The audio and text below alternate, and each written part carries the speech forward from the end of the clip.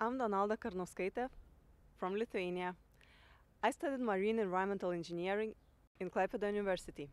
and I finished in 2013.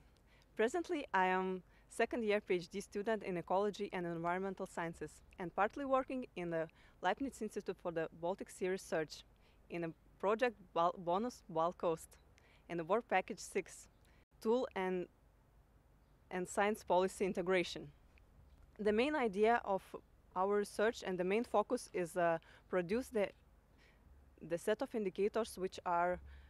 designed to measure sustainability in the coastal and marine areas and also to assess the success of integrated coastal, coastal zone management initiatives.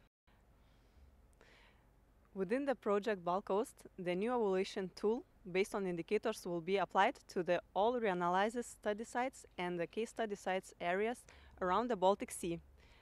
in the context of environmental quality, economics, social well-being and governance.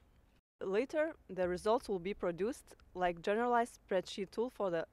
system approach framework evaluations. Of particular interest to me, it's its creation and, and also evaluation the, the sustainability around the coast because for me sustainability it's not only lessening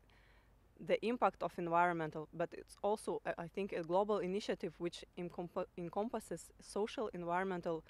and economics brings all together into the one idea to help the give the same opportunities for the future generations that we have now. Um, at the end of project I, I think